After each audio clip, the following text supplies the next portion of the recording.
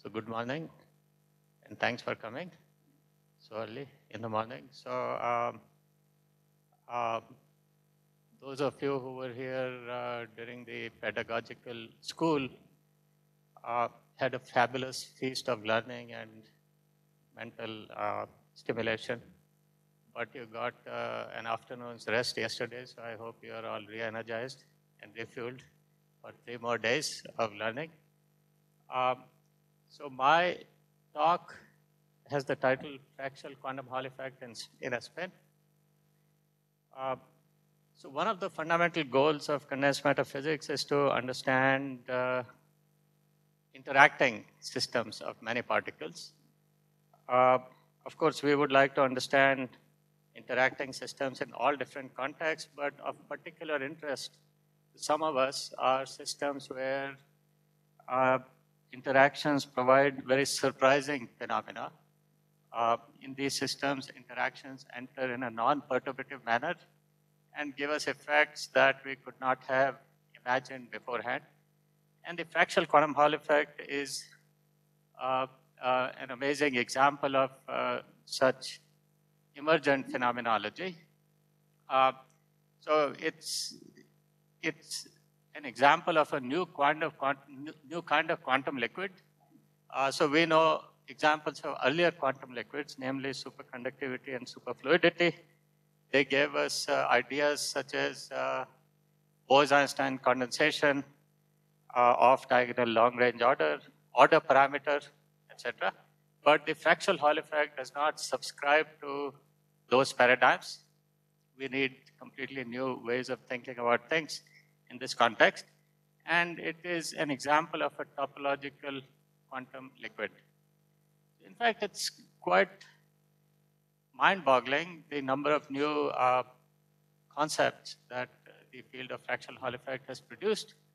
Uh, and they all have some sort of topological underpinnings. So the emergent particles are composite fermions. These are topological particles because they have vortices bound to them, and vortices are topological objects. Uh, the vortices produce effective magnetic field, which also has a topological origin, and it manifests through certain sequences, Fermi sea, etc. Uh, in fractional Hall effect, we have also encountered uh, abelian and non-abelian anyons, fractionalization of charge, and you know, the ideas of topological superconductivity and Majorana modes also made their appearance in the modern context, uh, first in the field of fractional Hall effect. Uh, there are topological spin structures that are called skyrmions. Uh, then there are chiral edge states, Chern numbers, and in fact, uh, quantum Hall effect served as an inspiration for many of the things which are extremely exciting uh, today, many developments such as topological insulators, spin Hall effect, and quantum anomalous Hall effect. Um, what's even more impressive is that we have a quantitative understanding of fractional Hall effect in a quantum chemistry sense.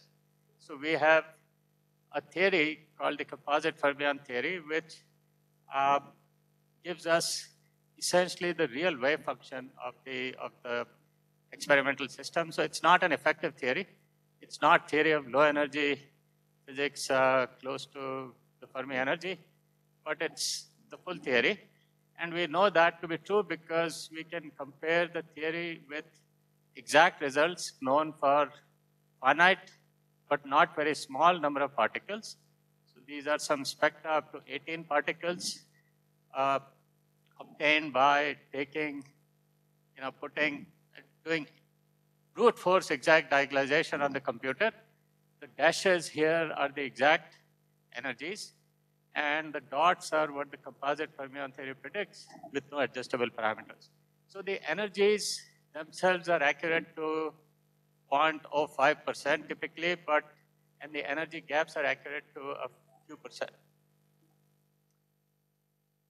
Now, based on this, you might have thought that we can also compare with experiments. But it turns out, and it's been a, somewhat of a frustrating feature of fractional Hall effect, that the comparison with experiments is not as accurate.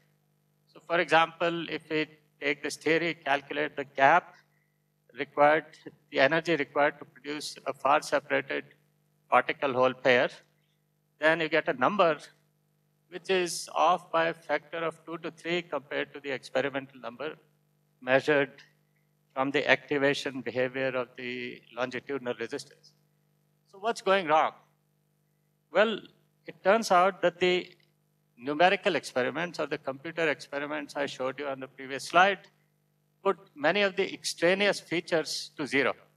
In particular, it was assumed in those experiments that the sample has zero quantum well width. Uh, it was assumed that there is no Landau level mixing and there is no disorder. Now, real experiments have all of these things, and these make quantitative changes. And it's, it's kind of ironic that we understand fractional quantum Hall effect, which is the non-perturbative part of the phenomenon, better than these other effects, which are kind of perturbative effects. So the one of, I mean, the goal of this talk would be to try to push the theory as far as possible, uh, including effects of finite width and Landau level mixing. So we don't know how to treat disorder, but we will show that we can treat these two to the best of our ability and see how well the theory compares with experiments. So the first question is, what quantity should we consider for this purpose?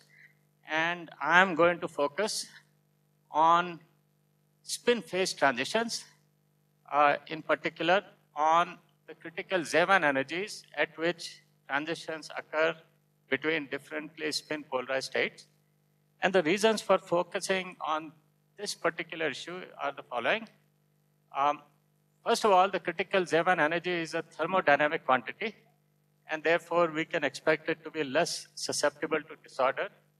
Uh, in contrast to, for example, the excitation gaps, which are more sensitive to disorder. So if you create a single particle hole pair, it can find some suitable disorder nearby to reduce its energy. Uh, but that cannot happen for the critical Zeeman energy. Uh, furthermore, the critical Zeeman energies, as we'll see, are a direct measurement of the tiny energy differences uh, between, between two competing states, and therefore they are an extremely sensitive test of the quantitative accuracy of uh, the theory. Uh, most importantly, a wealth of experimental information exists on spin phase transitions in the fractional Hall effect. So we have a lot of experimental data to compare to. Uh, finally, uh, the spin transitions, as we will see, uh, also serve as uh, also serve as a, I mean, they provide a quantity that uh, is affected by breaking of particle hole symmetry due to Landau level mixing, which has been a topic of interest in recent years in two contexts. One is the context of the five half state, and some of you may know that uh, uh, the most likely uh, explanation of the five halves fractional Hall effect is uh, known as the Pfaffian wave function. Its whole partner is called the anti-Pfaffian, and these two are related by particle hole symmetry, but these are topologically distinct states. So in the absence of Landau level mixing, there is nothing to choose between these two states, uh, but it's believed that with Landau level mixing, one of these two would be selected. And there has been quite a bit of work to ascertain which of these two is selected, although there is no consensus on it. Uh, another place where uh, where particle hole symmetry uh, appears is in the context of filling factor one half. So I talked about it during my pedagogical lectures. I also talked about Halperin, Lee, Read, uh, effective field theory for the state. Uh, I did not tell you that this theory does not do a very satisfactory job of building in particle hole symmetry at filling factor one half. And recently there has been a proposal by Dam Son uh, which claims that one can uh, give a particle hole symmetric description of one half by assuming that composite fermions are Dirac particles. Okay, so the plan of the talk will be I will give you some introduction to the experimental results. I will then tell you how the first theory, the lowest order theory, uh, compares with experiments, and what are the interesting uh, puzzles. And then I will tell you about the present work, uh, which includes all of these effects, and show how that uh, compares to experiments. Okay, so one could ask why should spin play a role at all in fractional Hall effect? So uh, at first, one would think that spin should be completely frozen. So I go to a partial, a fractional filling. Uh, the system is in a high magnetic field, and therefore electrons would like to have their spins all pointing in the favorable direction. Now, it so happens that even though the magnetic field is very large, the Zeeman energy in, in gallium arsenide systems is small. In fact, the Zeeman splitting for an electron in vacuum is equal to the cyclotron energy. But in gallium arsenide, both the effective mass and the Landé G factor are renormalized, and the Zeeman energy is approximately 170th of the cyclotron energy. So it's also much smaller than the Coulomb energy, and therefore one might imagine that a fraction of electrons may reverse their spins if they can gain in uh, Coulomb interaction energy. But even if you forget about Zeeman energy cost, uh, we, we expect that Coulomb interaction favors a system to be as fully polarized as possible uh, because that minimizes the exchange interaction. So it's an example of Hund's rule, which says that once you minimize the kinetic energy, you, the system wants to have the maximum possible spin. Excuse me.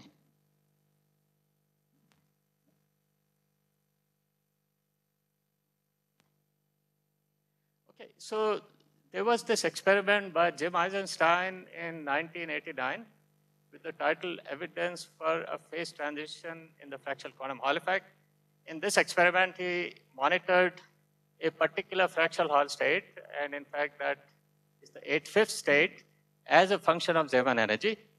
So he changed the Zeeman energy by what is known as tilted field experiment. So you tilt the magnetic field, uh, but in a way that the perpendicular component of the magnetic field remains constant. So it's effectively equivalent to applying an additional field parallel to the two-dimensional electron gas.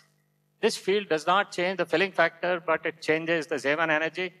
And what he found was the following. So remember, whenever rho xx is a minimum, uh, that means there is a well-developed fractional Hall state here. So at zero tilt, he found that there is 8 fifths fractional Hall effect. At certain tilt, it goes away, then it comes back.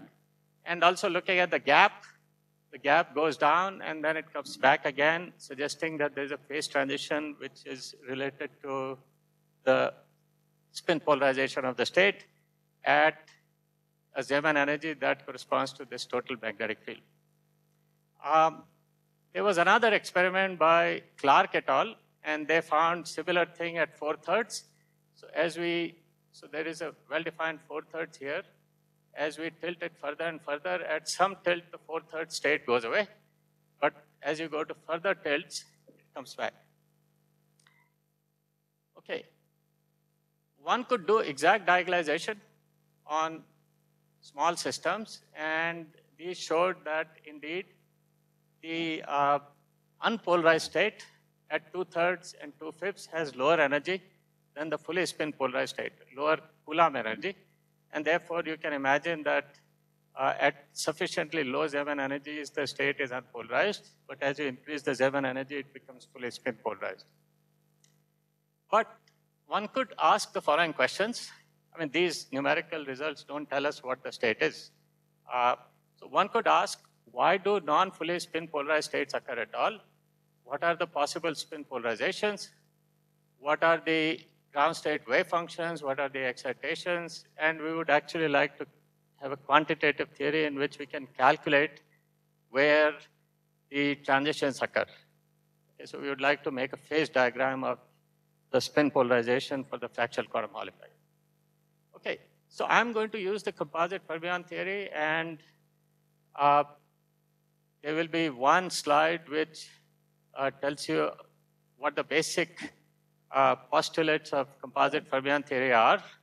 Uh, and these are what I'm going to use in the rest of the talk. So basic idea of composite fermion theory is that electrons in a strong magnetic field each capture an even number of flux quanta of the external field to turn into a new kind of topological particles called composite fermions. Composite fermions then experience a magnetic field B star, which is the residual magnetic field. It's equal to the external field minus an even number of flux quanta removed per particle. So flux quantum is defined here. Rho is the density of uh, electrons or composite fermions, and 2p is the even number of flux quanta that they have uh, absorbed. Then composite fermions, they form their own Landau-like levels in this reduced magnetic field. These are called lambda levels, and the filling factor of composite fermions is called nu star. It's related to the electron filling factor by this expression here. And based on this physics, we can write explicit wave functions for composite fermions shown here, which uh, relate this strongly correlated interacting system to a non-interacting system of electrons at filling factor nu star.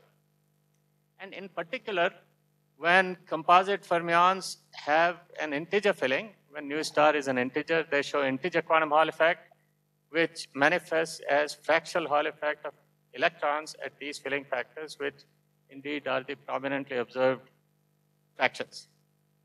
Okay, so let's introduce spin into composite fermions. This was done a long time ago.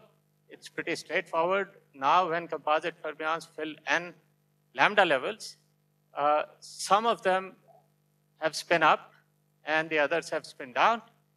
Um, we can construct wave functions for these states. Uh, following the same rule before. And in, so this gives us filling factors of the type shown here. And by particle hole symmetry, we can write wave functions for states which are, I mean, every nu produces a state at filling factor 2 minus nu. So remember that particle hole symmetry in the presence of a spin, for spinful electrons, it relates nu to 2 minus nu. Okay, so let's just take an example. So filling factor four nines or four sevens, they map into four filled lambda levels of composite fermions.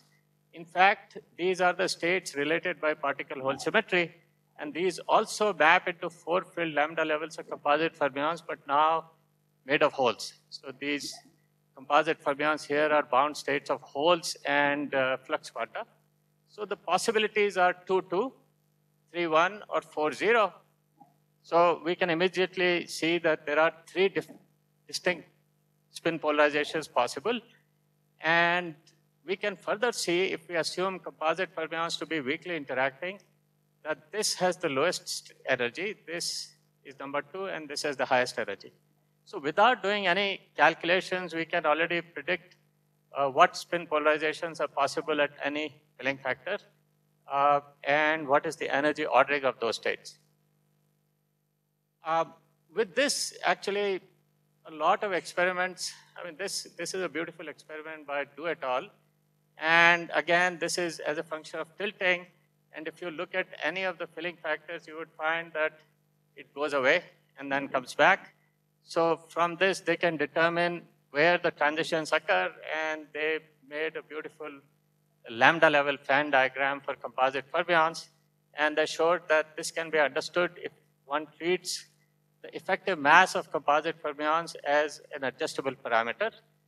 Uh, so the model of uh, free composite fermions with uh, an effective mass uh, work, works quite well. Uh, there are more recent data by Mansour Shayegan's group where, so these are the data from Du that I showed on the previous slide. Uh, they did a very careful job of looking at how these uh, critical Zeeman energies change as a function of uh, quantum well width. Uh, so all of the, the top four curves are at filling factors around, uh, for fractional Hall states, around filling factor 3 halves. And the bottom curve is for fractional Hall states uh, around filling factor 1 half. Okay, one can also see uh, these transitions in graphene. Uh, so as this is as a function of magnetic field and states are present here, they go away, then they're present. So you can see there are many transitions. And these can also be explained quite well within a model of free composite fermions with an effective mass. Okay, so now I will go to more quantitative theory and let's remind ourselves some relevant symbols are kappa, which is the ratio of the Coulomb energy to the cyclotron energy. This parameterizes the strength of Landau level mixing because Landau level mixing is caused by interaction. Uh, another parameter I'll use is alpha, which is the critical, which is the Zeeman energy measured in units of the Coulomb energy. And this can be shown to be equal to this quantity on the right-hand side, and therefore you can see it's directly related to the difference between the Coulomb energies of uh, two differently spin polarized states. Okay, so we had done a calculation many years ago studying these spinful states of composite fermions. So if you take two-thirds state, this is the spin singlet state at two-thirds, and it has extremely large overlap with the exact state, exact spin singlet state at two-thirds. So we know that this state is the one that occurs uh, in nature. Uh, then further along the line, we were able to calculate the thermodynamic energies. So here I'm showing you energies for four dynes. You know, I showed you this cartoon picture for four dynes earlier. And indeed, the energy ordering agrees with uh, what the model of non-interacting composite fermions would suggest. And moreover, we know what is the energy difference in the thermodynamic limit. The energy differences are on the order of 1% or less.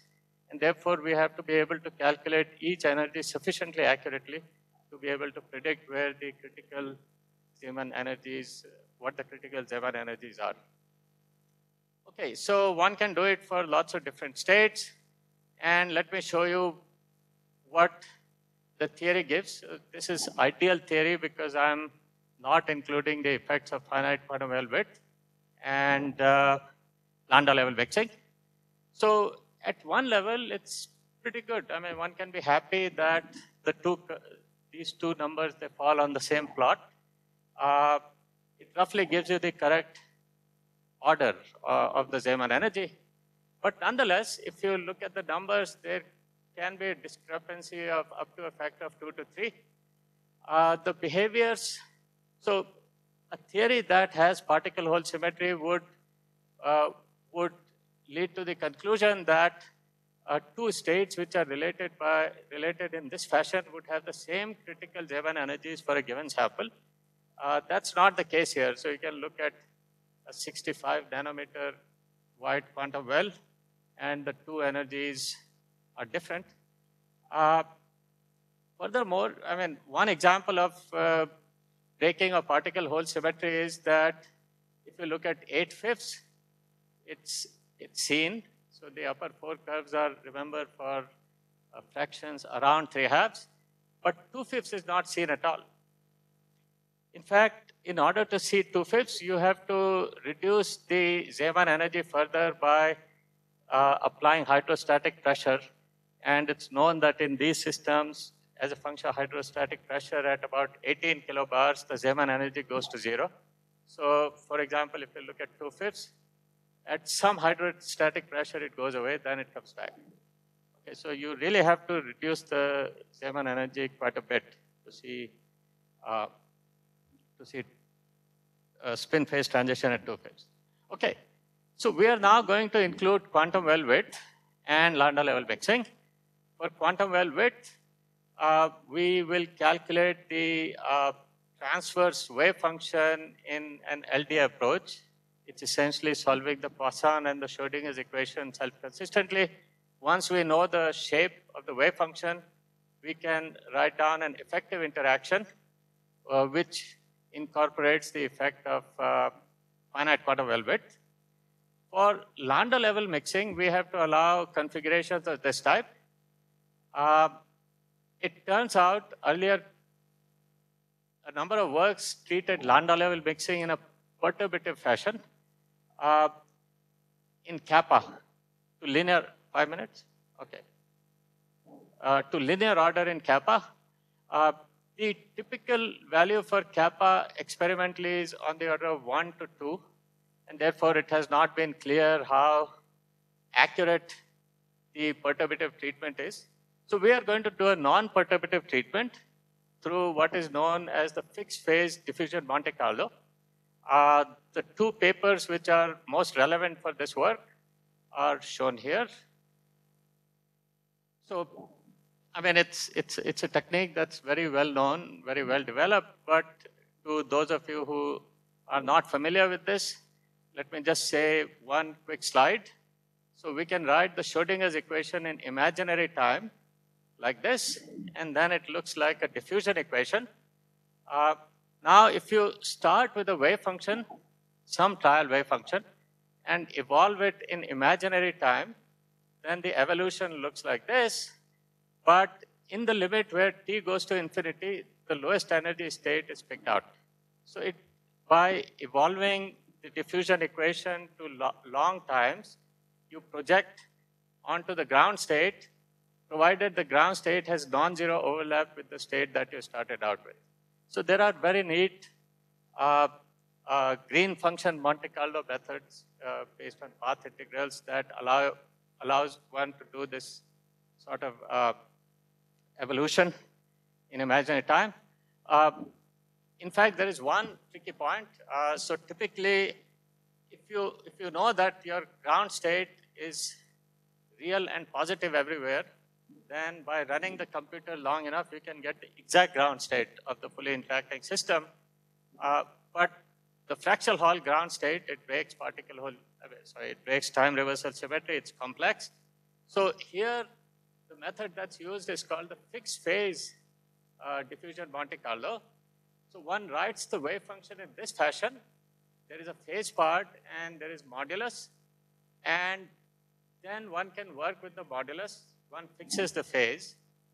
So within that fixed phase sector, one can get the exact ground state by doing this fixed phase diffusion Monte Carlo. Uh, well, the energy of the ground state is as good as the choice of the phase that we make. So what is a good choice?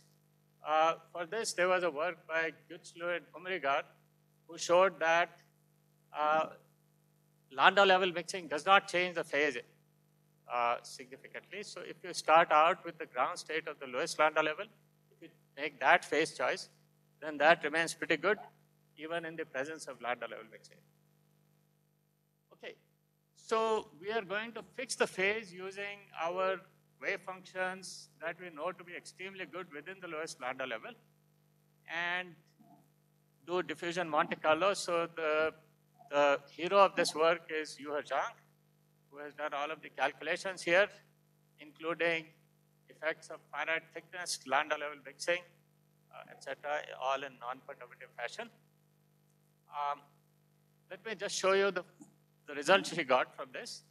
So uh, we assume parameters for gallium arsenide. So the density and kappa, they are connected. And you notice that there are, okay, so let me say the dashed lines here are just variational Monte Carlo without including Landau level mixing. Uh, these tell us that as we increase the density, the critical Zeeman energies at uh, the every filling factor it goes down. But when one includes Landau level mixing, then one finds that there is a region here which is dominated by Landau level mixing. So it's, it's not surprising. For a small kappa, the results are dominated by finite width. For large kappa, the results are dominated by Landau level mixing. Okay, so I have to finish quickly, but let me just show a couple of main results and end the talk. So this is a comparison between experiments and theory. Uh, so this would be the ideal theory. Uh, the the circles here are what we get theoretically after we include uh, effects of Landau level mixing and finite width. Uh, we have taken two different samples. One is a 65 nanometer wide sample, one is a heterojunction. And you can see for heterojunction, the agreement is extremely good. You know, in many cases, the dot, the circles and the stars, they are lying right on top of each other. For 65 nanometer sample, the agreement is reasonably good. Uh, okay, um, how about the role of particle hole symmetry breaking? So for this purpose, we need to consider two, uh, two filling factors that are related in this fashion. And we are going to look at two thirds and four thirds. Uh, for technical reasons, it's kind of harder for us to work with filling factors of this form. But at four thirds, this is what our theory predicts. This is at two thirds as a function of kappa. And I have put in some experimental results which show that uh, the agreement is uh, reasonably good. Okay, so I won't have time to talk about how the perturbative treatment of Landau level mixing fares. But let me just summarize the talk. Uh, I believe we have performed to our knowledge the most accurate quantitative comparison between theory and experiment in the fractional quantum Hall effect. We find good agreement. And this work also shows that uh, the study of spin phase transitions is an excellent way to learn about the uh, the uh, importance of uh, the breaking of particle hole symmetry due to Landau level mixing. Thank you.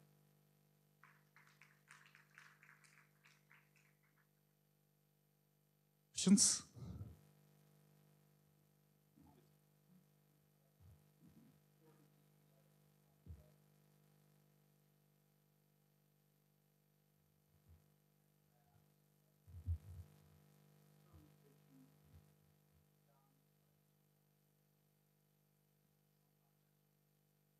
by Landau level mixing. Um, uh, can you give some kind of general characterization, uh, you know, wells versus heterojunctions or width of well? Where do we get into the condition where it's dominated by width versus Landau level mixing? Um, so this, these plots have uh, results for quantum wells with 0, 30, and 50 nanometer width, and also heterojunctions So these right. these triangles are for heterojunctions. Uh, for quantum wells, typically the transition is seen around uh, kappa equal to 1, which is not surprising. If you are much above kappa, kappa equal to 1, then the results are very close to what you would get uh, without including Landau level mixing. If you are much below kappa equals 1, uh, it's the other way. So it's fair to say both are pretty important in realistic situation. Realistic systems, both are important. You must include both. Okay. Because most realistic systems are somewhere here. Thanks. Okay. Uh, other questions, comments? Yes, please. Okay. So I.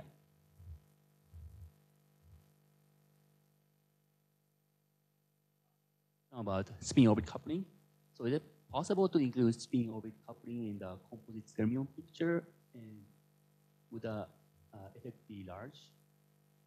Um, that's a very interesting question. So in gallium arsenide, the spin orbit coupling is not very strong. And we have not worried about it. Uh, in fractal Hall systems in general, because a gap opens up, uh, one would think that